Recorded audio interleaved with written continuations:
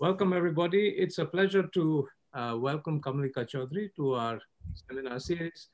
Kamalika received her Bachelor of Technology degree in Computer Science from the Indian Institute of Technology in Kanpur and after the, in computer science. And then she came to UC Berkeley where she did her PhD. And then since she's been on the faculty of uh, UC San Diego uh, in the computer science and engineering department. Kamalika's research contributions are over a very broad span of machine learning and, and statistical learning. She's made contributions to differential privacy, to learning from sensitive data with privacy, learning under sampling bias in the presence of an adversary. And all these fall under the category of trustworthy machine learning. And in the area of learning theory, she's worked on clustering, uh, active and interactive learning, online methods, and non-parametric learning, which is going to be the topic of today's talk. And so uh, we in turn look forward to learning from Kamalika. So Kamalika, over to you. Okay, thank you so much for inviting me. And uh, you know, I um, I'm also very glad about the format of the seminar because I haven't done this kind of thing for um, you know research work in a long time. So I'm very excited to give a talk uh, without slides on the whiteboard. Uh, I think it's wonderful. Very good. We are looking forward to it. Okay, so uh, what I would be talking about today is, uh, you know, uh, basically adversarially uh, robust uh, classification. Um, so what do I mean by adversarial robustness? Well, um, adversarial robustness has been, uh, you know, in a, uh, um, it's it's been it's received quite a bit of attention lately, and uh, so an example would be uh, many of you may have seen this demo on the internet where there's an image of a panda, and it gets perturbed by a really tiny bit. Uh, you know, if you look at the perturbation, it looks like noise, and uh, and then you know to the human eye, the perturbed image also looks like a panda. But apparently, if you have a neural network classifier, uh, all the state of the art neural network classifiers would be highly confident that it's something else, right? So they think it's a monkey, whereas uh, it continues to be a panda right? And it's a uh, kind of a bit of a mystery in the sense that you know why is this happening? Uh, what's going on over here? Uh, do we expect this to happen everywhere? Um, and that's kind of uh, going to be the uh, topic of my talk. And you know um, as a theoretician i'm going to kind of look at it from um, a bit of a you know a bit of a theoretical angle. We'll try to formalize um, a, a, framework, you know, uh, for uh, for this uh, for these uh, phenomena, and then we will try to prove some results about what uh, what happens, uh, what what is really going on, right? Why are we seeing these kinds of things? Okay. So uh, here is the setting that we'll be talking about. Uh, and this is kind of the standard machine learning setting, the standard setting that we look at in learning theory. Uh, the problem we will be looking at is classification. Um, so what is classification? In classification, what happens is that we are given um, a bunch of xi, yi pairs um, you know, these are um, our uh, training data. So this is what is called the training data. And uh, XIs are, you know, what are known as feature vectors um, and this is you know this is of course kind of an abstraction of uh, of real data and yi's are what are known as uh, labels right so these are discrete labels so examples would be xi could be you could have let's say uh, you know um, an image of a cat uh, because as you know a lot of machine learners like to do cat classification so you know you have the image of the cat uh, and what you could do is you convert this image to a vector right so you could convert it to a vector of pixel colors or you know uh, or something else. And the yi would be the label that this is a cat, right? So it's a categorical label. Uh, and the goal is to find the rule that will predict the y's from the x's, right? So um, find a rule to uh, rule. So I'm going to call this rule f to predict uh, y from x's, right? Um, okay so these are uh, so this is kind of the uh, you know so this is kind of the uh, setting and for most of the talk i will uh, talk about y's that are binary right so for example uh, these could be you know you could be classifying cat versus dog or you could be, could be classifying spam emails versus non-spam emails and so on and so forth Okay. Um, so what does the uh, so so this is the this is our task. And in machine learning or rather in learning theory most of uh, what we do is in what is called the statistical learning framework. Okay, so what is the statistical learning framework? What the statistical learning framework does is that it says that there is an underlying data distribution D, right? So there is an underlying data distribution D, and this D is over um, you know, the space of all feature vectors times the space of all labels, right? So imagine, uh, so the space of all feature vectors could be, you know, all possible images. And then if we are trying to, uh, you know, classify, let's just say cats versus dogs, then that could be, Y could be, you know, cat and dog, right? Uh, and, uh, and the point of, you know, having this distribution is that your, all your data, right? So your training data, so the training data is the data that you're using to build build the classifier and test data is the data that you're using to evaluate the classifier. So training and test data, these are all IID samples from this distribution D. Okay. So these are all IID samples that are drawn from D. Okay. So uh, what is uh, so you know so this is fine. So what are we hoping for when we uh, when we want to fit uh, this rule, right? Well, in the standard machine learning, uh, you know, in the standard statistical learning framework, what we are looking for is high accuracy, right? So the goal is uh, high accuracy. So what is accuracy? Well, the accuracy of a classifier F, so I'm going to use this notation, ACC with respect to D, the accuracy of a classifier F is the probability uh, where uh, feature label pairs are drawn from this data distribution D, f of x is equal to y right? So this is the fraction of times uh, f is going to predict the right label according to the distribution, okay? So this is, uh, you know, our basic statistical learning framework, right? So I'm just going to um, kind of, um, I'm just going to kind of, um, you know, because we might come back to this. Okay, so I'm just going to circle this in red. Okay.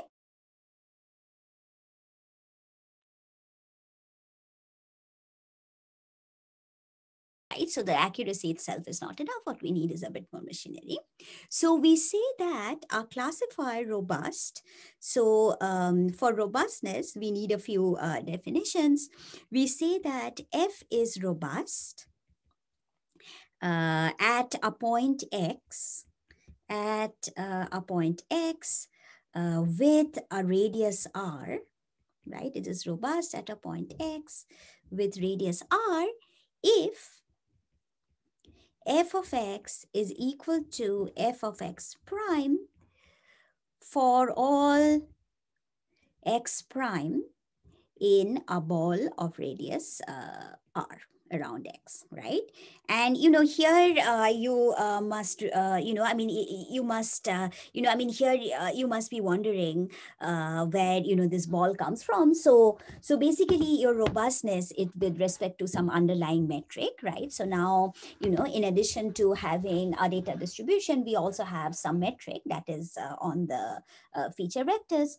And what we are saying is that you know you are a classifier is robust at a point x if um, it's uh, it's uh, you know, if it is, uh, if it predicts the same thing in a ball of radius uh, r around x, right? So if, you know, if x is the point, mm, is this point over here, then this, uh, this particular classifier, so this is a linear classifier, right? So it, it's, um, it predicts one on this side and, um, you know, plus one on this side and minus one on this other. This classifier is going to be robust with radius r at x because this x is distance r away from its decision boundary, right? So decision boundary is where it's changing its predictions, okay? Uh, with radius s. Uh, so one thing that uh, might occur to you is it's actually easy to have the perfectly robust classifier if you just predict the same thing all the time, right? So you could always say this is a cat and you know your classifier is absolutely perfectly robust. So, but it's also absolutely perfectly useless. So what you want to do is you want to somehow balance robustness and accuracy okay So, uh, so we do that through a measure that uh, that we called uh, call astuteness, and it's kind of a combination of robustness and accuracy, right? So the astuteness, um, I'm going to write down this definition. So the astuteness, I'm going to call it AST of a classifier with respect to a data distribution D and radius R. Um, of this classifier F is the following.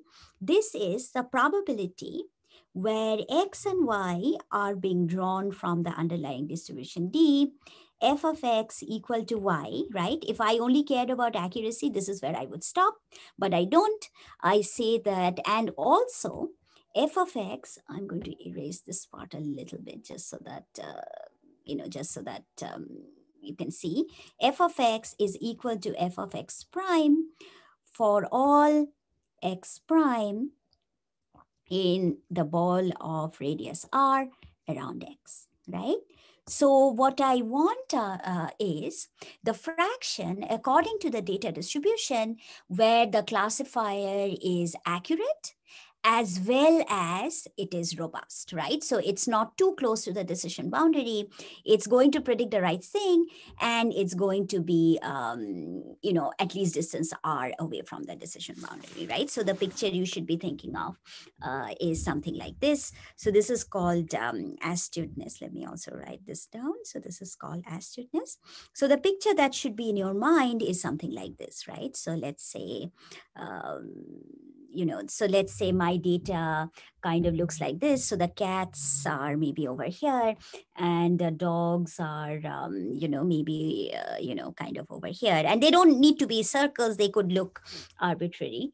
Uh, and the the uh, I astute classifier that I'm looking at would be something like this, right? This is this black one would be an astute classifier, whereas this could be, you know, an accurate but a non-astute classifier, right? So the purple one passes very close to the dogs. So this could be an accurate. Uh, this would still be accurate, but it would not be robust and accurate. Whereas uh, what we are looking for is something like the black one, right, which is both robust and accurate. Okay. Uh, so that's the question. Yes. Ms. Prakash. Hi. Hi.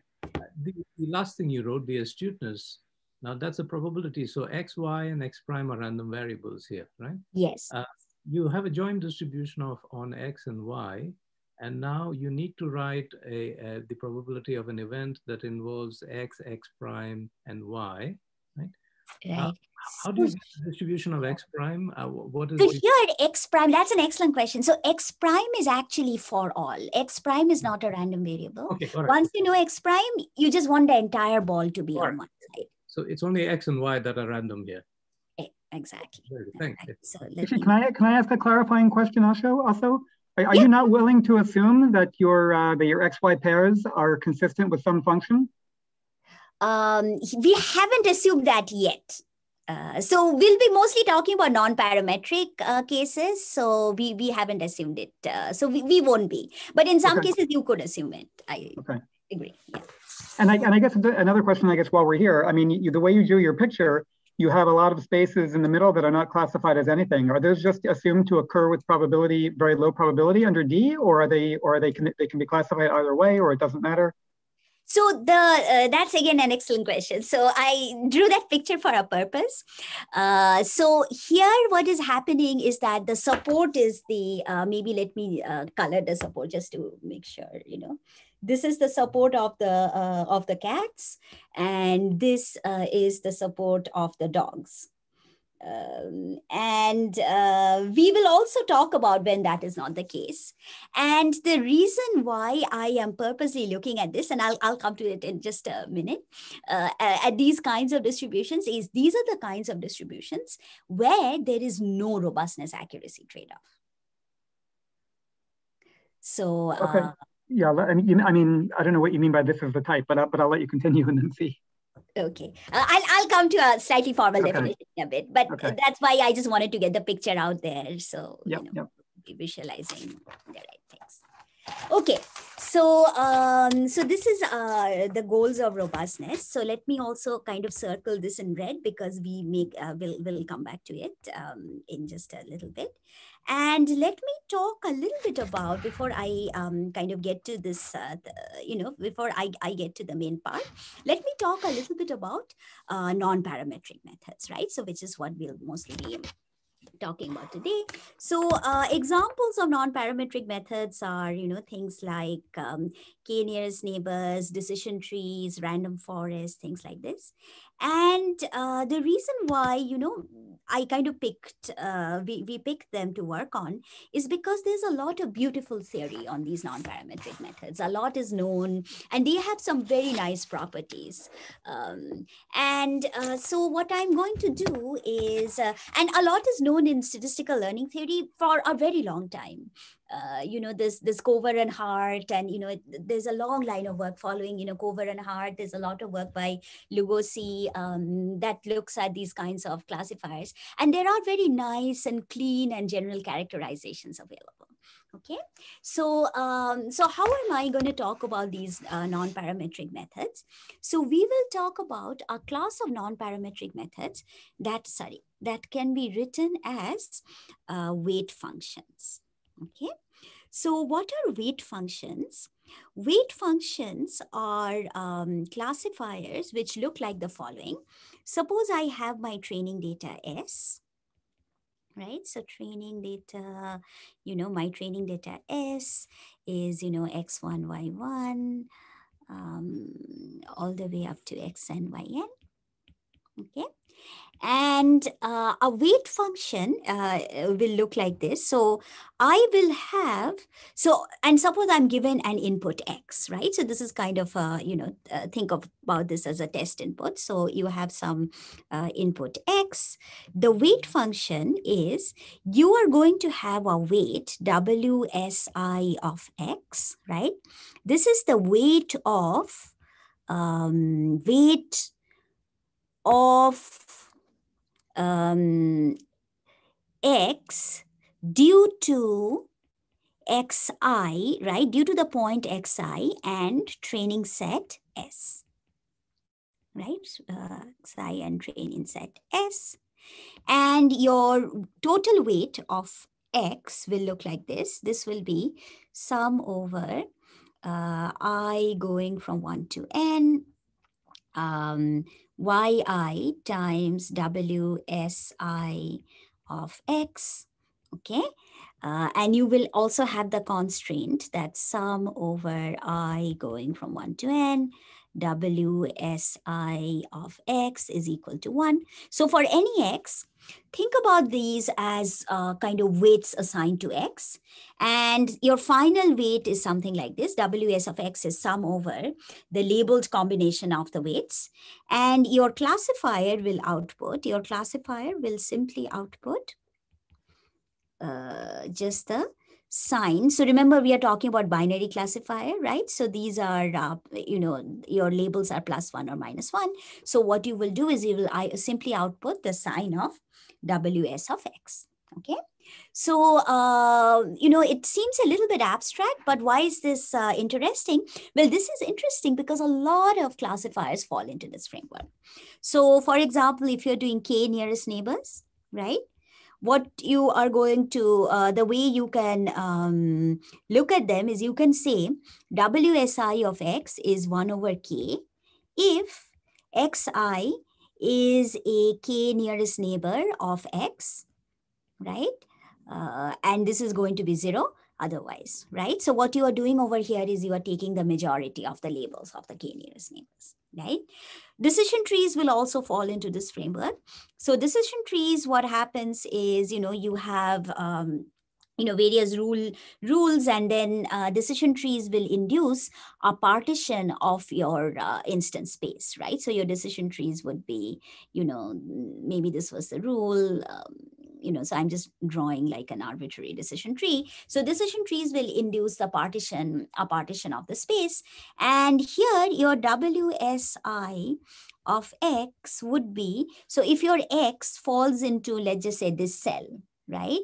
And let's say there were nx uh, training points in that cell, then WSI of x would be 1 over n sub x, where n sub x is the number of uh, n sub x is number of training points in the same cell as, um, as uh, points in the same cell uh, as x right and uh, you know so now uh, and and you know it's not just knn on decision trees but a whole bunch of other things will fall into this framework right so uh, it's a very general framework and uh, what is known about this framework uh, Wait, sorry, so can I, I can I just ask another question? I mean, this framework is, is as you defined it, is so general it, it encompasses any function. Uh, because right, right, I mean, you, you, allow the weights to depend on x, and so I, I, can just you know, for any, you give me any function and for any x, I'll look at whether the function outputs one or minus one, and then I'll set the weight, I'll put the weight entirely on an example that's one or minus one accordingly. Uh, you could. So I think you, um, you need you must need some other constraints on the weights. I mean, in the examples you gave, the, I mean, the constraints, the weights have a particular form. I, I mean, uh, yeah. So the is different for every to, x, but right. The weights have to sum to one. Yeah, but that's I, I can I can just put all the weight on one on one item and zero everywhere else, because you allow the weights to depend on the input x. Yes, yes, yes. So uh, what is known about these functions depends on some properties of the weights. So if the weight satisfies okay, okay. certain properties, then these are okay. good ideas. Okay. Yeah, I agree. Yes. Um, so what is known about these weight functions? Well, uh, before that, I will give you one last definition and then I'll, uh, I'll, I'll tell you about what's known about these weight functions. And this last definition is that of the Bayes optimal, okay, the Bayes optimal classifier. And the Bayes optimal classifier is the classifier that is the most accurate classifier on your data distribution, right? So most accurate on, uh, on D, okay? And um, and what does this classifier look uh, look like? Well um, you know uh, the classifier will kind of look like this. So i'm going to call it g star. So g star x will predict one if uh, the probability under D of the label y equal to 1 given x is greater than equal to half, and it will predict minus 1 otherwise, right? So as you can see, this is kind of a, you know, it's kind of an idealized classifier, right? It's something one can aspire to, but it's not, uh, you know, it's, it's, it's something to aspire to, but it's not something that you will get, right? Out of any finite number of samples. And, uh, and that is what uh, a lot of these results um, kind of uh, you know talk about right so that that's what a lot of these results uh, uh, kind of talk about is when you converge to this Bayes optimal classifier in the large sample limit okay and uh, so now I will finally tell you what is known about these non-parametric methods. And uh, so th there's a lot of stuff that's known. Um, I'm going to, today I'm going to talk about a theorem by um, Stone from 1977 and um, and believe it or not this is uh, you know before uh, i was born let alone my students. So this is the Stone uh, 1977 theorem. And the reason why i'll talk about that is because it's a very elegant kind of uh, thing right? Hi hi Kamalika, i have a question. Yeah.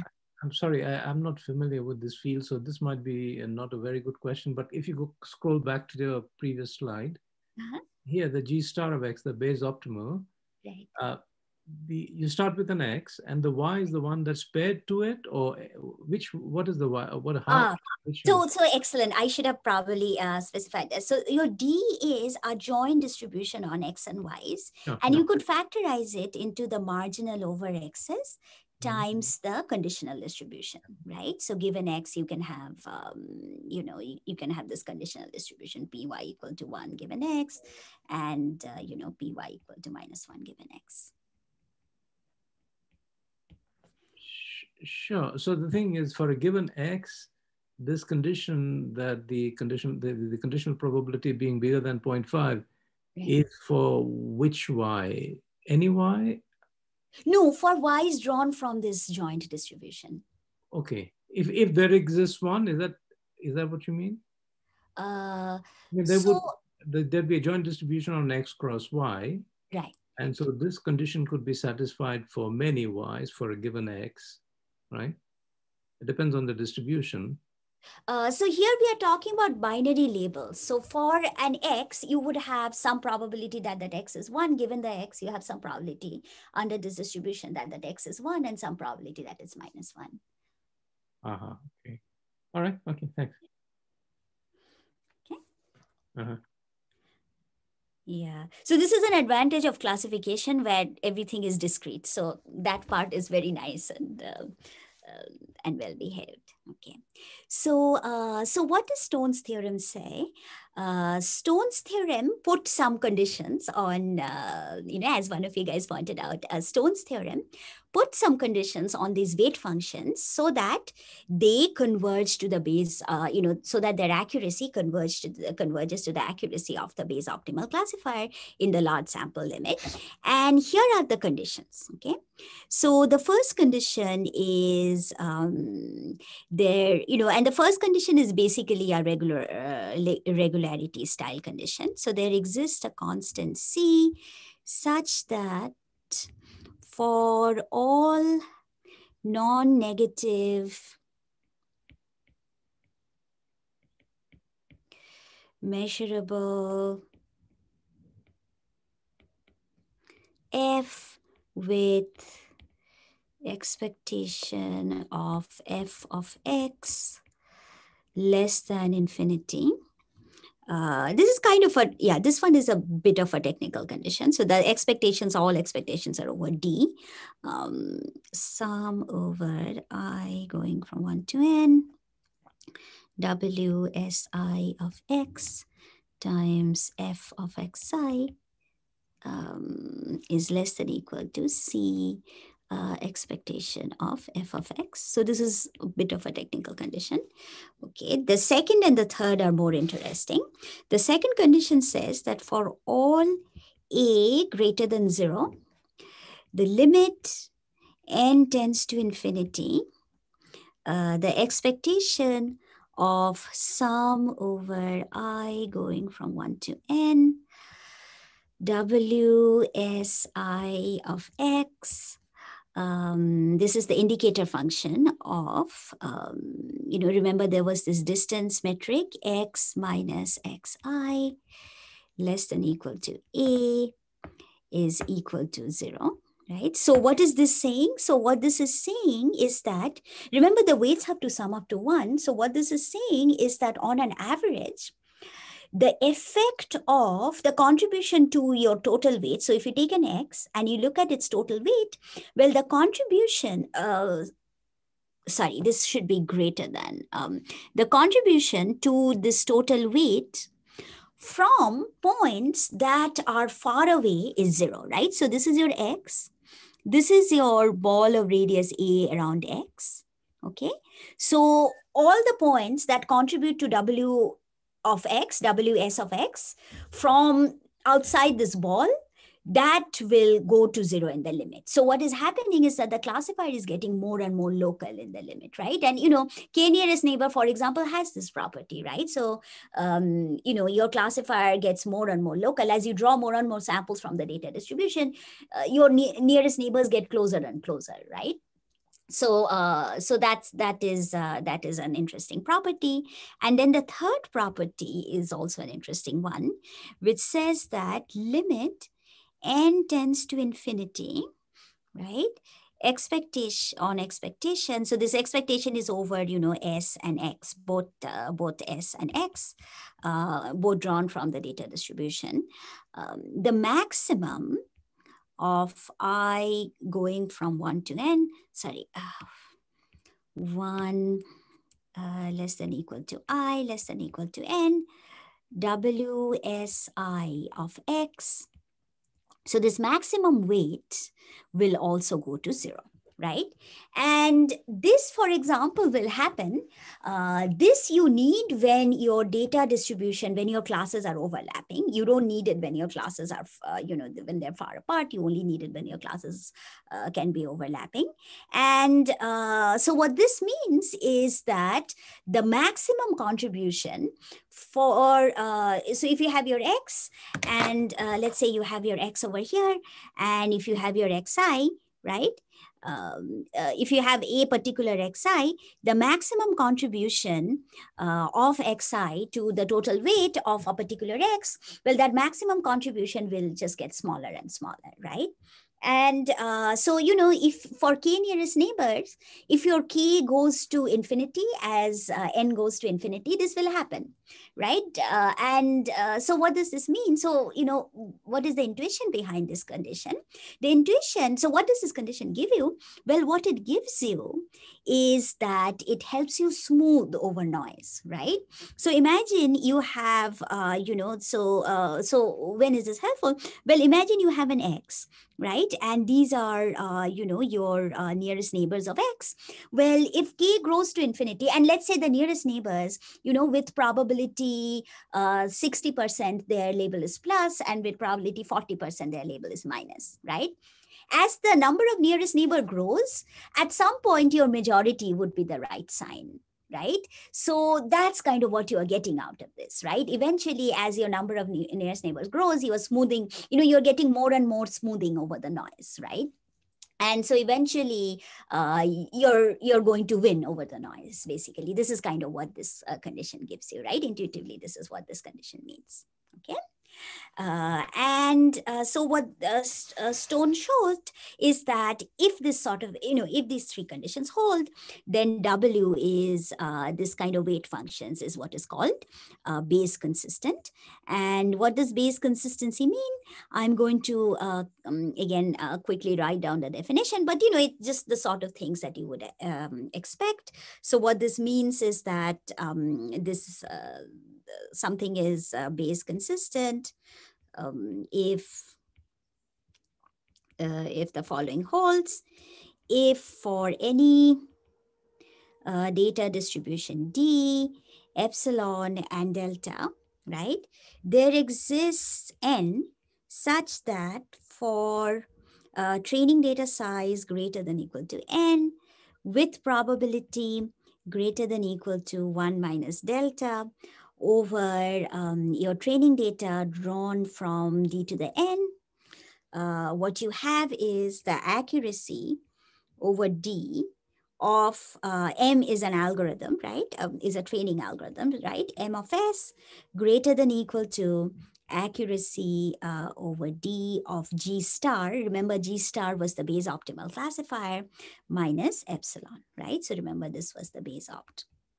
Okay, so what this means is that as your training data size grows uh, with higher and higher probability, uh, as your size of the training data set grows for, you know, doesn't matter what the distribution is, with higher and higher probability, you are going to get, uh, uh you know, your accuracy is going to get closer and closer to the accuracy of the Bayes optimal right? And again, um, this might, you know, the end that you need for different distributions might be different. And in fact, it is different, right? Some distributions we all know are easier than others, but this is, uh, this is kind of what Bayes consistency means, okay?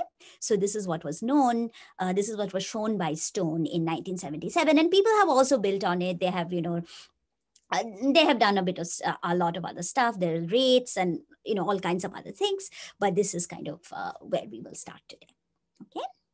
Okay, uh, now I'm going to switch back to robustness. Uh, any questions about this so far? So, so uh, the, the distribution D, mm -hmm. does it have any special characteristics or is it any dis joint distribution on X cross uh, Y? So it can be, um,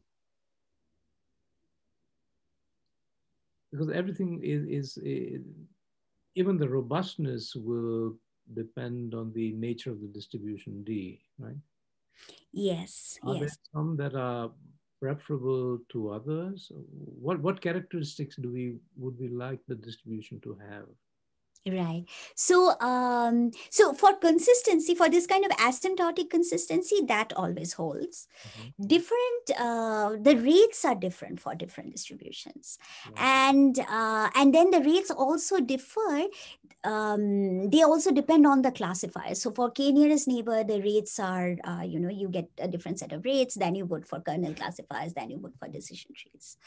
Um, and so maybe I can answer this question for k nearest neighbors. So for k nearest neighbor, the rates depend on um, basically what the um, effective boundary between the distributions look like. So, you know, distributions, um, you know, where there's a, so for example, distributions where um, py equal to 1 given x is too close to half. So these are highly noisy distributions.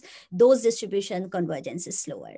Uh, then there are uh, things like, you know, distributions whose um, plus minus boundaries are very, you know, um, so so these kinds of you know distributions right? So here the plus minus boundaries kind of you know they're they're close and they're they're very kind of non uh, smooth those distributions convergence is slower. Um, uh, for these kinds of cases unfortunately you know unlike like linear classification there isn't any one kind of thing like d over square root n there, there isn't a thing like this. Uh, these are uh, very much dependent on distribution properties. And in fact um, there is a very cute theorem by lugosi where uh, he can show that you know i mean if you give him like a bad rate he can find a distribution where that bad rate would happen. Um, so. Okay thank you. Okay. Okay. So um, yeah. So let me then switch to uh, robustness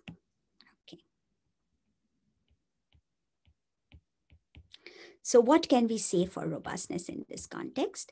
So what I will do is first, I will talk about for robustness, first I will talk about um, what uh, we'll, we'll call well-separated data, okay? Uh, and it turns out for robustness, a particular measure of separation becomes kind of interesting. And that, that measure is what we call R separation. And I'll also tell you about what happens in the general case, but it's just that it's a lot more complicated than, um, you know, what happens in the, um, uh, in the in, in this R separated case. So that's why I want to talk about it first. Okay. Uh, and the proofs are also much simpler for the R separated case. Okay. So our distribution D is R separated. It, sorry, R separated. Uh, you know, is said to be R separated um, if the following happens. So if you draw uh, an xy, two pairs, xy and x prime y prime, right? So if you draw xy from D and x prime y prime, right? So if you draw these two pairs from D, okay? And if you find that y is not equal to y prime, then x and x prime are going to be distance 2r apart. Okay, going to be distance at least twice r apart right? So the way to think about this thing is uh, you know imagine um, you know again this is kind of the picture that i was uh, trying to draw earlier right? So let's say this is the support of the pluses you know and it could be kind of a complicated support. So there are these you know there are maybe maybe there are several um, you know maybe there are several clusters of cats right so you know, um, you know, cats uh, like this, and you know, there may be several clusters of cats, and then uh, you know, there are uh, maybe uh, some clusters of dogs. So this is a kind of dogs. This is a kind of dog. So my point is that these distributions could look really complicated, right? But uh, any cat is at least twice away from any dog, right? So that is our separation. And um, uh, why, why are we interested in our separation, right? The reason why we are interested in our separation is that our separation means implies there exists some f with astuteness 1, right? So that the astuteness of f with respect to the distribution d and r, this is equal to 1. So this is kind of, you know, if you are familiar with, um, you know, other kinds of learning theory, this is kind of analogous. It's not quite the same thing, but it's analogous to the realizable case, right? There at least exists a perfectly robust and accurate, you know, there ex- at least exists a perfectly astute classifier. Now, whether we can find it or not is a different matter, but it there at least is, uh, you know, it's at least achievable, right? So there exists a perfectly astute classifier. Okay. Okay. So fine. So what we will do now is, uh, you know, uh, until the very end, now we will talk about R separated distributions right? So, um, okay, so R separated distributions, and we'll try to prove an analog of Stone's theorem for this kind of R separated distributions, okay? So, okay, so now the question is, what should we now converge to? Right? Because remember, before we were converging to the Bayes optimal, and but the Bayes optimal is kind of undefined outside the support of the distributions, right? So to give you an example, um, maybe I'm going to draw it in pink. So you know this could be kind of a you know this uh, pink curves could be kind of a Bayes optimal. Uh, mm, maybe something that kind of um, you know, so this pink curve is, uh, sorry, uh, this pink curve, I'm just trying to make sure it's just, you know, it, it classifies something correctly. Um, yeah, something like this. Um, yeah, sorry. So maybe there is this little clump, right? So this pink curve is a Bayes optimal. You can also have other Bayes optimals. But the thing with this um, Bayes optimal is that it passes very close to this distribution, right? So as you can, sorry, let me maybe try to blow it up a little bit more so people can see. Uh, you know, it will pass very close. Uh, sorry, let me close my door because it's uh, my neighbor um, yeah, my neighbor is gardening.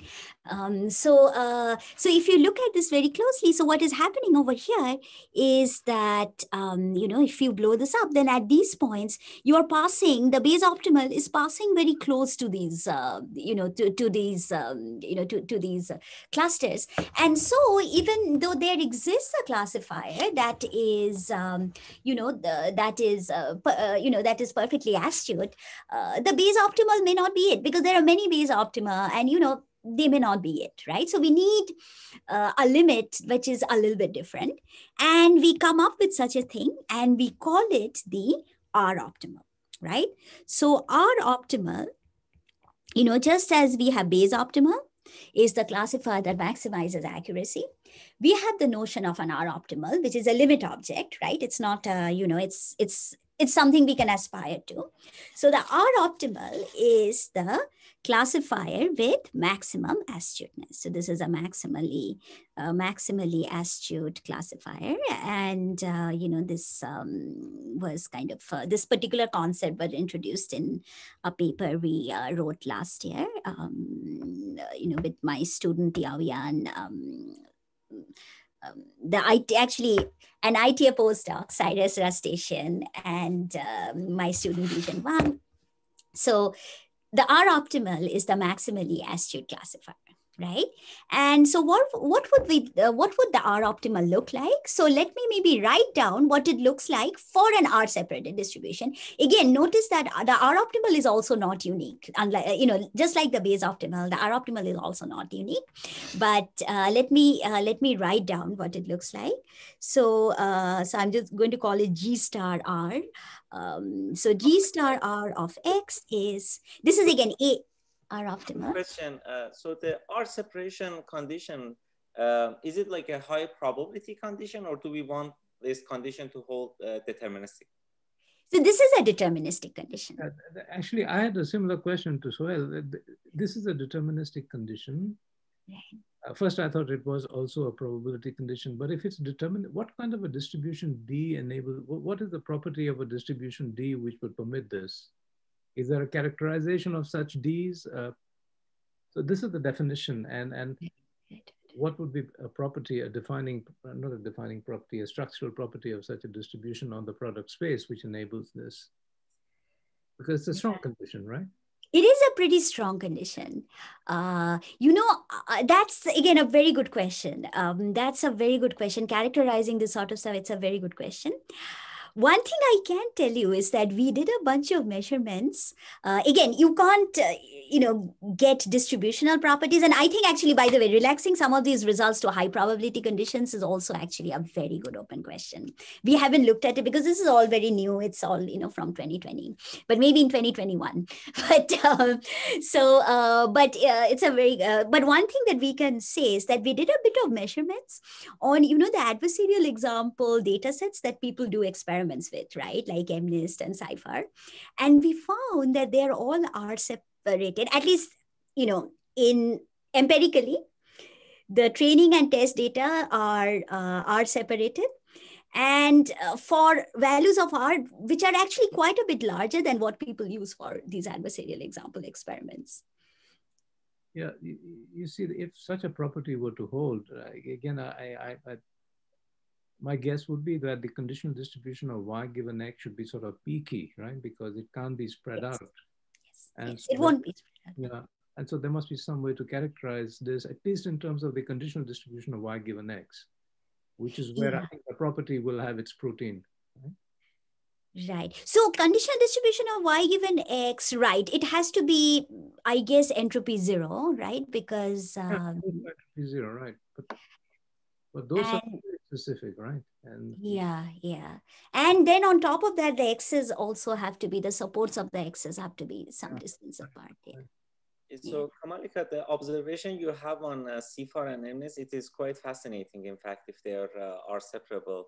Uh, so one question I have there is that like, say if I pick two labels, uh, two samples from different labels and I measure their separability, okay. how does it compare if I pick two samples from the same label? For example, again, an excellent question. So, okay. So if two samples from the same label were always closer than two samples from different labels, the nearest neighbor would work perfectly, right? So that doesn't happen. But on an average, samples from the same label are closer than samples from different labels. I see. I see.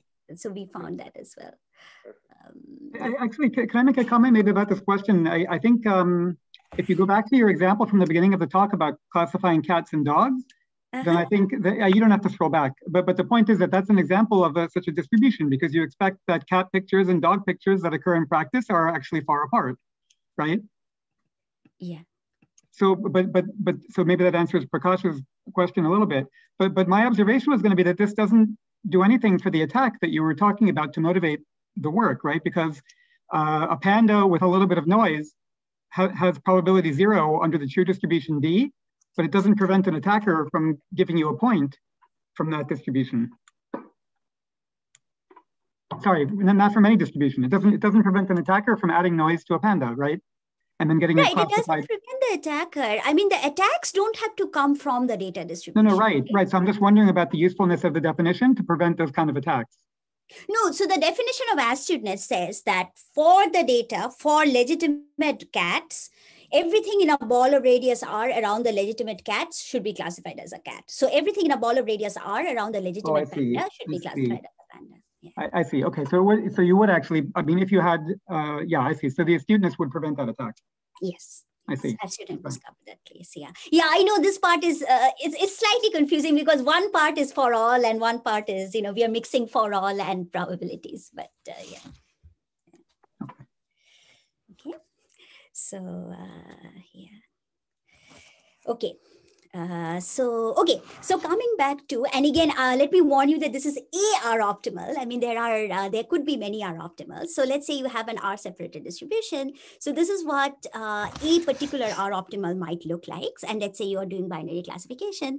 So G star uh, R of X would be plus one if uh, the distance between x and the support of the uh, pluses is less than equal to r and it would be uh, minus one otherwise, right? So this could be an example of what the um, what the R optimal looks like, but there could be other R optima as well, right? Um, you know, there could be multiple R optima. And if your distribution is particularly well separated, there would be quite a few R optima in the middle, right? So imagine, um, you know, imagine if your uh, cats, these are your cats, and you know, uh, these are your dogs. Then you know, they're uh, depending on R, all these things could be all R optima right? So there could be like a whole bunch of R optima in the middle, even if there are separated, right? So this is uh, you know so this is this uh, you know so this is the r optimal. So now we have a uh, now we have the right limit object to talk about right? Now we have the right thing to converge to. And uh, so now what we are going to do is um, what should be our notion of consistency? So again we are going to define this notion of um, r consistency which is essentially what uh, what we are doing is we are defining uh, what it means to converge to the r optimal optimal. And uh, again, you know, following Bayes consistency, we are going to say that an algorithm M is R consistent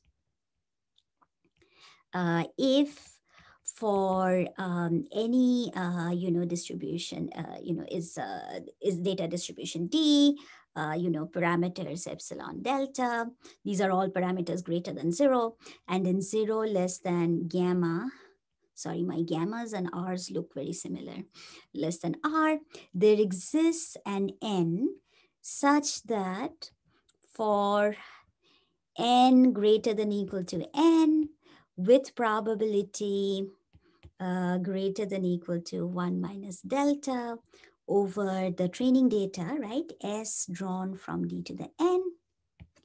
Uh, the astuteness of D r this is this is an r minus gamma. This is a gamma right? Uh, of the algorithm uh, uh, you know uh, that takes s as the training uh, as the training data is greater than equal to the astuteness of d uh, and r g star uh, g star of r right? This was our most astute classifier minus epsilon, okay? So this is kind of what you would expect, but I just want to point out uh, one thing that is a little bit different is that there is this extra parameter gamma, right? So remember how we had with high probability, probability one minus delta over the training set, or, um, you know, uh, in case of accuracy, you had a probability one minus delta over the training set. Our accuracy was the accuracy of the Bayes optimal minus epsilon, right? There was an epsilon and a delta. Now we have an epsilon and a delta and a gamma, which is less than R. Um, where uh, you know you are again you are converging in astuteness but you know you are your radius is also converging to r right? So that's uh, that's the notion of r consistency okay? And uh, finally um, uh, here is uh, our theorem. Um, so maybe uh, I can uh, kind of state our theorem. And this is the theorem for, uh, so this is a theorem uh, with my student uh, Robi Bhattacharjee. So, um, and we uh, had this in a paper in ICML. So this is for um, R separated distribution, right? So this particular theorem only applies to R separated distributions. R separated distribution uh, D Okay. And suppose you have a weight function W, uh, so R separated distribution D. Uh, suppose the following condition holds. Suppose it holds that for, for any zero less than A less than B, uh, what we have is the following. So let me write down this condition and it'll only make sense when I contrast it a little bit with stones, right? So um, limit n tends to infinity, okay? Uh, expectation, and this is expectation over s and also x, right? Um, supremum of x prime in a ball of radius a around x uh, then you have sum of i going from 1 to n, um, w s i of x prime, uh, the indicator that xi minus x prime uh, greater than b right? This entire expectation is, uh, you know, the in limit n tends to infinity, this expectation goes to zero. Uh, if this is the case, then uh, W is R consistent, okay? So maybe let me try to bring this in contrast with Stone's theorem, right? So maybe let me scroll back to Stone's theorem. So, um, so for Stone's theorem, if we are looking at the R consistent case, then these two are, uh, if you try to prove Stone's theorem, then you don't need these two, right? Uh, these two conditions. You don't really need one and three, right? So one is kind of a technical condition which you need when the noise rates could be different from, you know, for different X's. And uh, three is the thing that says that the contribution to X from each Xi, uh, you know, is not that much, or at least as n goes to zero, that contributions gets less and less. So, so you can smooth over the noise. So here there's no noise really. So you don't really need number three. You don't need uh, number um, one. So what you need is in fact number two, right? So um, for in this case, the relevant thing is number two. And maybe let me see if I can. I know there's some way of cutting this. So maybe or uh, copying this or dragging this particular thing. Uh, sorry, let me see if I can manage that. Here now. Okay, let me see if I can drag this. Uh, okay. Okay, never mind. Let me let me maybe then try to um yeah let, let me try to maybe rewrite the condition since I can't uh, seem to be able to drag it. Um, right. So the condition looked like the following. So Stone's theorem. Oh, sorry. Stone's condition would be for all um, a uh, you know greater than zero limit uh, n tends to infinity expectation over s and x um, sum over i going from 1 to n w s i x the indicator of um, xi minus x prime uh, greater than b sorry, greater than greater than a. So we have only uh, one constant a over here. Um, greater than a uh, is equal to zero right? So uh, so so as you can see that uh, you know so this is a locality condition right? If you remember what this is saying is if you have a particular x and you have this ball around uh, around x then the contribution from uh, you know the xi's that lie outside that ball uh, to the particular weight of x that contribution actually gets smaller and smaller right? So the classifier actually just gets more and more local. It's just focused on points that are right around x okay what we have over here is a slightly stronger condition than that. What and the way it's stronger is through this term, right? This term that I'm highlighting. So what this says is that's not only the case that for x that are drawn from the data distribution, but it's also the case for um, you know things that are in some ball around it right? It's it's also the case for um, you know uh, yeah it's also the case for uh, points that are in some ball around it. Uh, this condition should also hold right? So the way to think about it is you know you have your x here you have your ball of radius a around x and then you have like a bigger ball of radius b and you know both x and a and b it has to hold for all a and b that go all the way up to r so this is our ball of radius A, and then this is our ball of radius B. And basically, this should hold for every x prime that lies in the ball of radius A. Its contribution to, uh, you know, a ball of radius B, sorry, it's the ball of radius B is around x prime. Uh, this contribution from outside that ball is going to uh, go to zero, right? So, so basically the classifier is local uh, you know, again, the intuition is that the classifier gets local and local, but now this is in a, a stronger sense than what was required by Stone okay? And um, uh, so before i get to a proof i was hoping to do a little bit of a proof if we have time. Uh, and the proofs are really very simple which is really why i chose this uh, piece of work. Um, but before we get to that uh, let me tell you about i want to tell you a little bit about what does this mean right? So remember how we talked about you know how uh, k nearest neighbor was consistent. So stone's theorem said that you know k nearest neighbor was Bayes consistent. So what kind of, what uh, will satisfy our theorem? So it turns out that there are some things that satisfy our theorem. And in fact, the first uh, such thing is k nearest neighbors. Okay. provided uh, you set k in a way that, so I'm going to call it k sub n because k could change with n. And what you need is k sub n over n goes to zero right? And intuitively, um, you know, this is clear. I mean, if k sub n over n goes to zero, what that means is that the classifier gets more and more local, right? Um, and this was, you know, this was a condition of uh, Stone's theorem as well. Um, you know, for uh, let's just say uh, separated distributions for uh, for Stone's theorem, this would also hold. Well, uh, when k sub n over n went to zero, the classifier got more and more local, and it would be Bayes consistent if the uh, you know if the pluses and minuses were well separated, were separated, and that is also true for our theorem.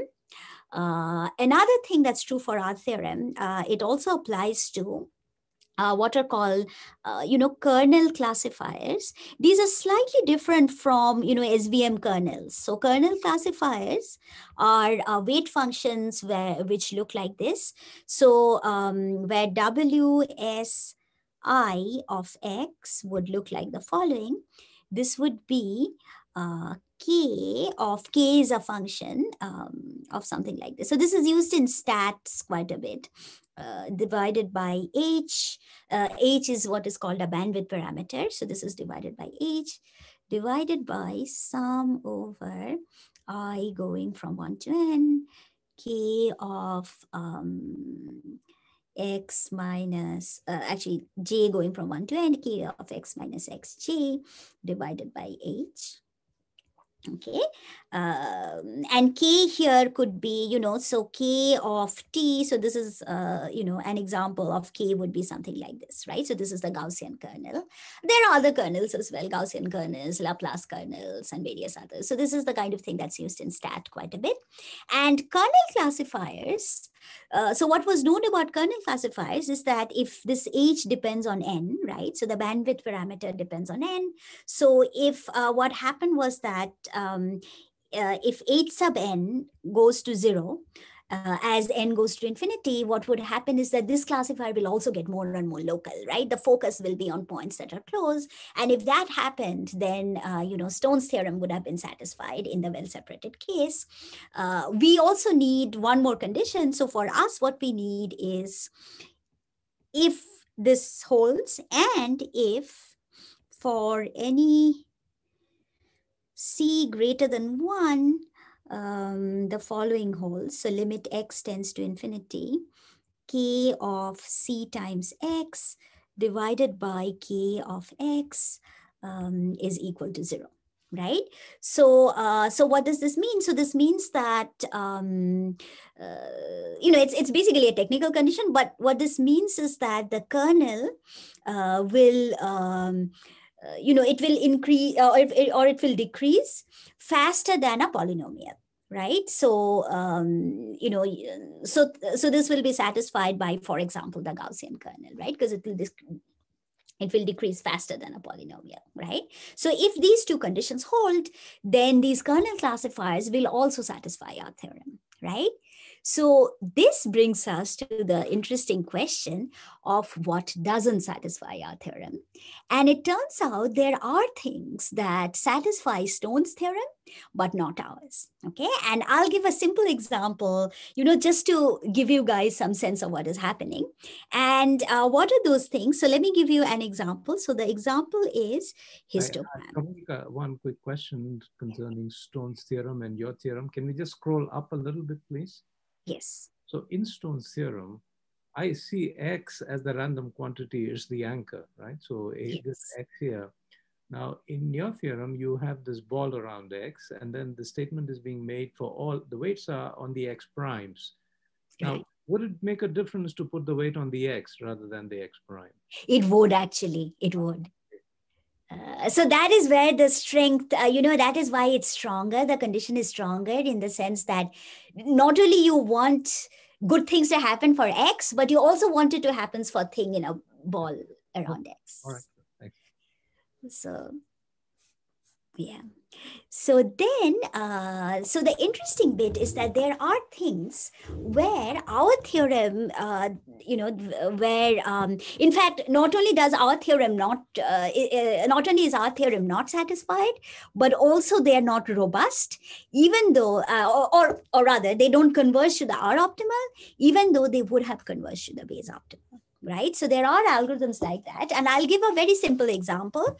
Uh, and this is something called histograms, right? And basically this is, you know, think about it as like a simplified form of a decision tree.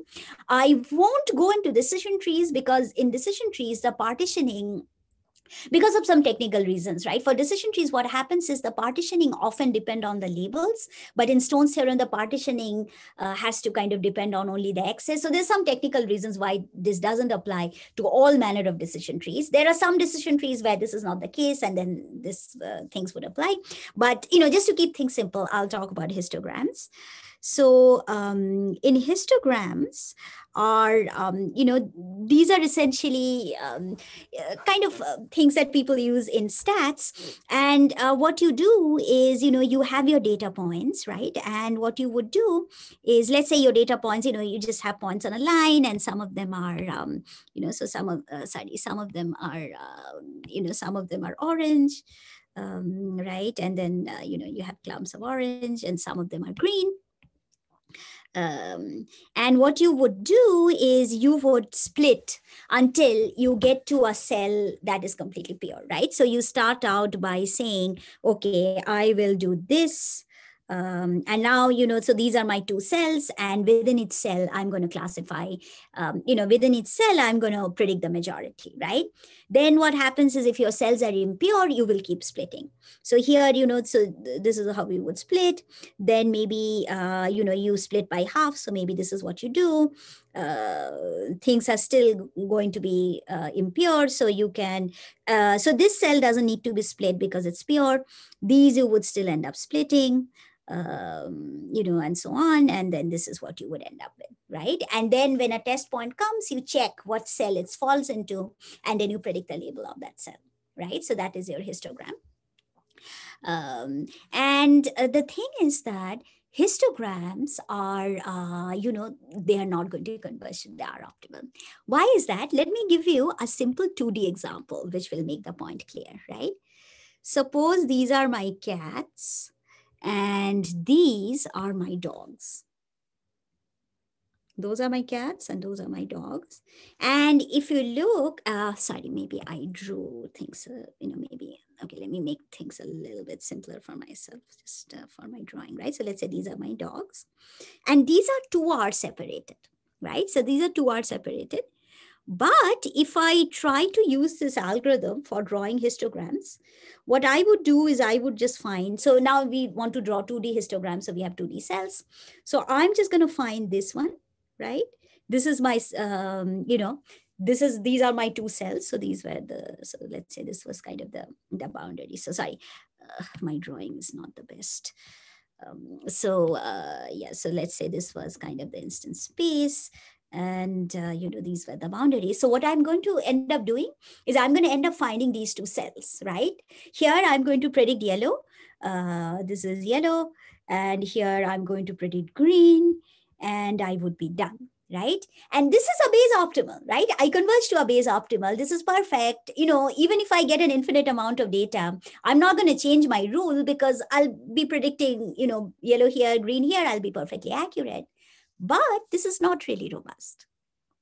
Okay, so uh, histograms, in fact, are not going to converge to the R optimal. Here, there is a histogram, you know, which you can imagine, right? If you had your cell boundaries go, like if you had a lot of cells and if your cell boundaries kind of went zigzag like this, uh, there is such a thing. You could construct it, just that the existing algorithms for constructing histograms uh, are not going to do that, right? So what we need are new algorithms with a focus on this kind of thing. Uh, so that's an example again uh, so you know this is what makes things a little bit interesting is that these are some so this is an example where uh, you would converge to the Bayes optimal as uh, n goes to infinity and you know you would be perfectly accurate But even if your distribution is R separated, you would not converge to the R optimal, right? And you would end up with this thing where, you know, you're perfectly accurate, but you're not robust, okay? Uh, so this is, uh, you know, so this is uh, something that we can show. Okay, any questions at this point?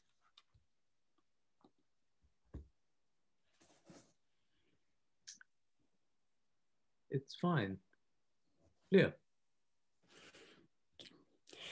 Okay, so since I have uh, maybe about 15 minutes left, maybe I think what I will do is uh, maybe I'll tell you a little bit more because uh, I don't think the proof can be covered in. I mean, the proof is pretty simple. It's like, um, uh, but I don't think it can be covered in 15 minutes. So maybe what I could do is I could tell you a bit more about the general case because there can were. I, can I ask you a simple question? Yeah, How do you check the R separateness condition from real data? That is a very good question. You can't really check distributional R separatedness, right? Because it's always possible that there's a very, very rare cat which looks like a dog, and you know, it's in the distribution. So and what fact, happens? What happens if you cannot check the condition, but you have from empirical data some estimate of R separateness? Can you do anything with that? So what that tells you uh, is that um, these rare things are not like the rare things that uh, conflict with R separation. They are just not in your test set, right? That's, okay, that's, can you reformulate everything in the context of probabilities of correct classification, probabilities of incorrect classification, and try to do the problem that way rather than uh, the way you've done it? Because in that case, you will be able to carry along estimates of the R separateness in your estimates of the probabilities of error. You know, that's a very good question. We haven't looked at that. You know, that's that's an excellent question. Yes, uh, right. you know, we haven't thought about that much. But you are absolutely right. If we can do something verifiable, you know, then that that might be like you know, based on some validation data, that might be a very nice way to go. Thank uh, thanks. That's a very nice. Uh, yeah, that's that's a very nice question. Thank you. Uh, hi, I, Kamalika, but your definition of separateness, separatedness had this probability delta built into it, right? Um, let me see. The R separation. Delta no, it uh, no the. Sorry. Okay. No, I'm sorry. Yeah, yeah. Okay. So you yeah. can't play around with that. I thought maybe to answer John's question, we could play around with a threshold probability, but it's not there. That's fine. No, it's not there. And you are right. It, that's actually a very kind of whole. Uh, yeah, that's a that's a very good open question. Yes, there, there are many, many, many open questions. Uh, it's it's very new and. Uh, um, yeah Okay, so okay, so that was uh, you know the the particular case, and maybe let me tell you guys a little bit since there's been some questions on it. So maybe let me tell you guys a little bit about the general case. Okay, so in the general case, you know what could happen is you know R separation doesn't hold anymore, and you know um, maybe let me just try to draw something just to keep your um, uh, you know, so R separation doesn't hold anymore. And, you know, you have cats. Uh, maybe you, you can also have uh, everything like works if you have uh, multiple classes and, you know, maybe your cats and dogs are overlapping. I don't know if you guys have seen, by the way, the hardest um, classification problem is ca- classifying Chihuahua versus Muffin, right? So imagine you are in that set where, uh, you know, you have these images of Chihuahuas which look exactly like muffins even I can't tell them apart. So, you know, let's say if you are in that problem and, uh, you know, and then maybe this is, uh, you know, this is one of these things. And then, uh, uh yeah, so maybe, you know, there's uh, cats and dogs and, you know, chihuahuas and muffins. And then there's, uh, there's a bit of overlap and things like that. So now, what, what can we do? Right? So let's first start out by trying to look at what would our R optimal look like, right? And uh, here is uh, what it uh, what it could look like. Um, it could look like the following. So suppose I am now trying to kind of uh, re-characterize the R optimal. Now suppose and let's say I know the, you know, I know the data distribution, right? So the R optimal, it's really an uh, aspirational object, you know, like the Bayes optimal. So it's okay to know the data distribution.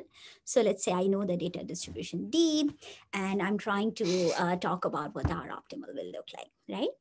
Suppose uh, SI is a subset uh, is a set of our instance space. So you know we have this instance space uh, which is a space of vectors right? It's, it's like a vector space x. So suppose um, s sub i is our set of uh, you know or subset of the instance space.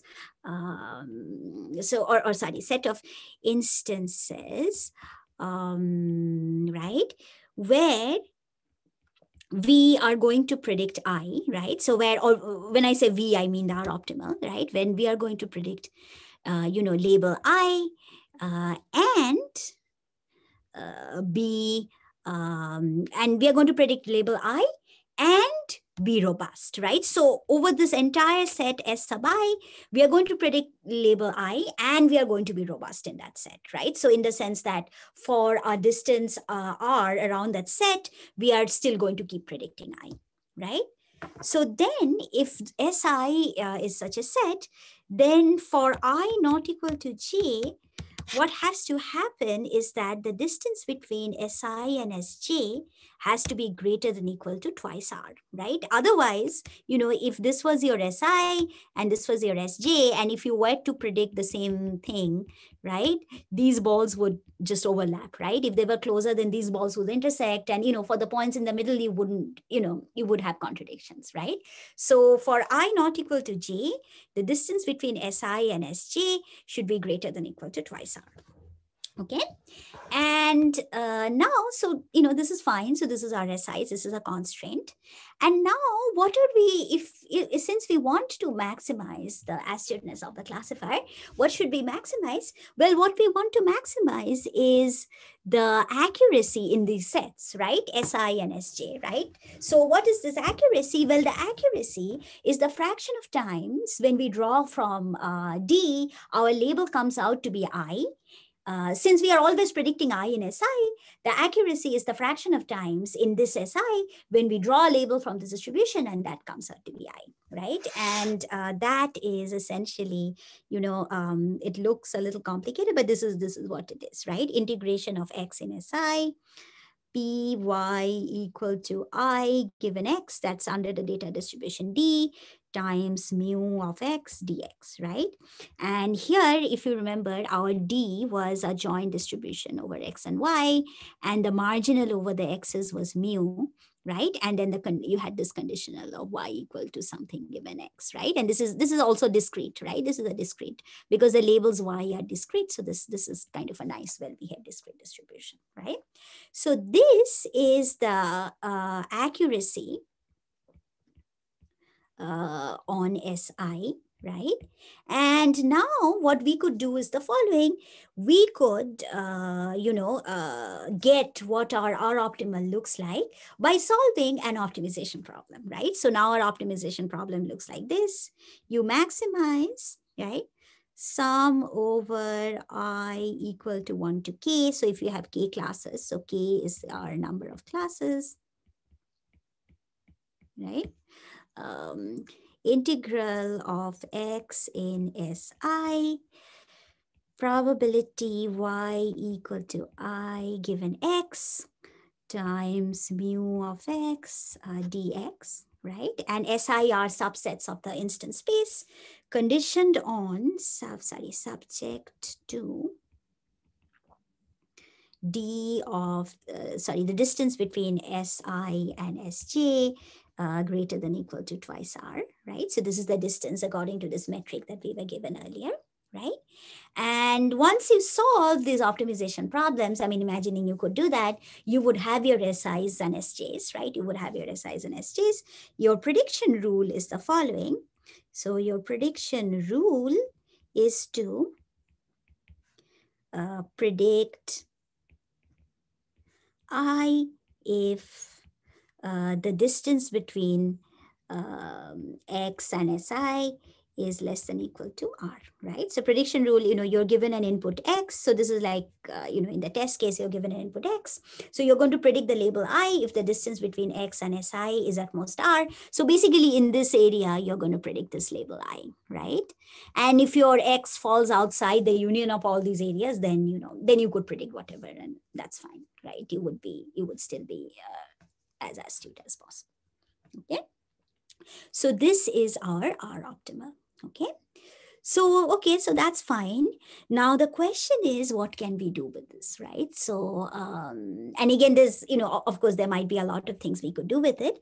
But one of the first things we thought of was to say, uh, what is a good finite sample? Uh, approximation to this, right? So like, you know, in Bayes optimal, when people, uh, you know, when statisticians looked at the Bayes optimal, well, a finite sample approximation to the Bayes optimal is that you estimate py equal to one given x uh, by looking at some of the local points and then based on whether the, uh, that estimate is greater than uh, half or uh, or not, you can predict the right, you, you predict a label, right? And that's essentially, you know, that's essentially non-parametric regression, right? Right? So that's kind of um, what the statisticians came up with. So now our question again is that what is an analog of the, you know, what is an analogous finite sample approximation? And, you know, again, this is something that we came up with. And again, there's many, many open questions. Uh, I, I'm not sure this is the best one, but it's one. Uh, so what we will do now to come up with a finite sample approximation is we will approximate. So SIs are, you know, regions, right? So what we will do is we will approximate the SIs now with a set of uh, training samples, SI with a set of training samples, right? And now what this comes down to is if we want to find these SIs, if you squint at it for a while, what you would realize is that your union of SIs, right? So sum over I, SI, right? And this doesn't have to cover the entire set of training samples, just as the SIs, you know, they don't have to cover the entire space, right? Sum over, uh, union over ISI is the largest subset of training samples of uh, S, this is our training data, such that points with different labels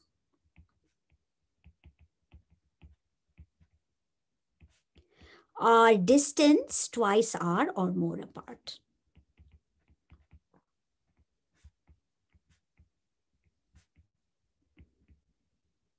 Okay.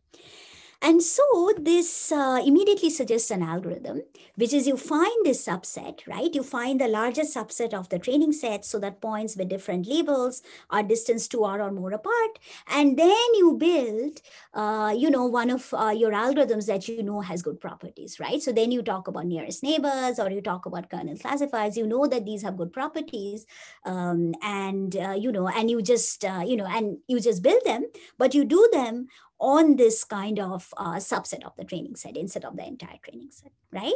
And uh, this is something that we call um, adversarial pruning. Uh,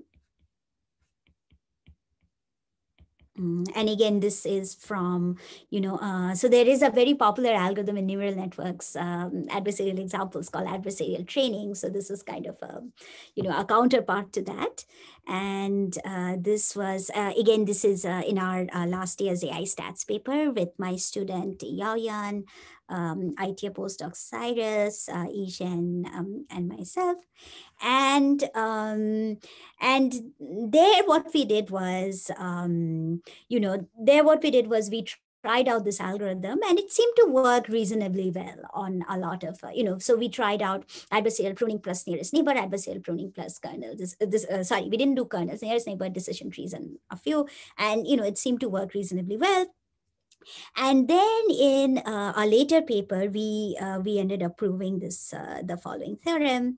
Uh, again, this is an asymptotic theorem uh, that if you do adversarial pruning plus nearest neighbors or kernel methods, right? then the result would be um, R consistent, right? So in the general case, uh, the general case consistent. The general case, the conditions are a little bit more complicated. So I, um, you know, and kind of uh, explaining them is also not super, uh, you know, it's, it's much less intuitive. So I won't go into it. But if you do adversarial pruning, followed by your favorite algorithms like nearest neighbor or kernels, then, uh, then at least in the large sample limit, you would get consistency. Okay, so uh, at this point, I'll stop. Thank you very much. Uh, it's a very enjoyable talk. Thank you. Uh, let's open the air for questions. Uh, thank you so much, Kamalika. Really, really uh, nice talk and great results. Uh, so one question I had is that I feel your most of the results you presented they are pretty general in terms of the metric that you're using. So uh, can we use instead of like L2 in the pixel space, for example, can you use a, a metric like L2 in an embed, embedding space that you compute? And then in maybe in the embedding space, the um, you know distances among uh, samples from the same label would be smaller than samples from, from a different label. Yeah, that is quite plausible. But then, you know, the solution would be uh, to find those embedding spaces. So one is to find those embedding spaces and then, you know, uh, use one of these algorithms in the embedded spaces. Uh, that that would be actually quite nice and then the robustness though would be with respect to that same metric right oh. you can't have robustness with respect to the original metric i see i see that's that's actually super interesting um, uh, we actually looked into like some LPIPS embeddings and uh, empirically we have shown if you have some robustness with respect to that metric, mm-hmm. it actually provides generalizable robustness against L2, L infinity, other metrics. So it may not be uh, bad to define robustness, adversarial robustness, not only in terms of the L2 in pixel space, but maybe with respect to some uh, some embedding. So uh, yeah, yeah. Yeah, yeah, yeah, yeah. Thankfully, I mean, the theory is it's it's very general. So for the theory uh, theory purposes, it, it would be fine. Yeah. Perfect. Thank you. Thank you. Thank you. Uh, Kamalika, I have a question. This this part about the adversarial pruning, can you say a little more about it? I, I so uh, I guess so. What you would be doing is uh, you would find the maximal subset of your training samples so that points with uh, training points with different labels are distance 2r or more apart right mm-hmm. and um, and the way you know this is you know one just finite sample approximation uh, the reason why it's motivated is because we are imagining if these sets SIs instead of being you know subregions they were just some sets of training samples so this is it's a finite sample approximation mm-hmm. um, and the way you could do this is actually um, when you have two labels it becomes um, you know you can think of a, a graph where every node is a training sample and two nodes are connected by an edge if these are samples with different labels but are closer than 2, 2r, right? And now you want some sort of independent set in the graph, maximal independent set in the graph. So it, tacitly, uh, implicitly, there's some fiddling around with the distribution D or it is completely separate from that? Because the, the distributions had that assumption, right? The separability that these things should be two out of five. Oh, sorry, sorry, sorry. So here we are talking about a completely general case where there's no assumption. This is completely general. Yeah. So if you did that, then your data you won't need to do any adversarial pruning. Okay. Sure. Yeah. Okay. More questions? Well, Kamalika, thank you very much for a most enjoyable talk. And uh, for me, this was uh, a nice learning experience. So thank you. Thank you for inviting me. It was a lot of fun.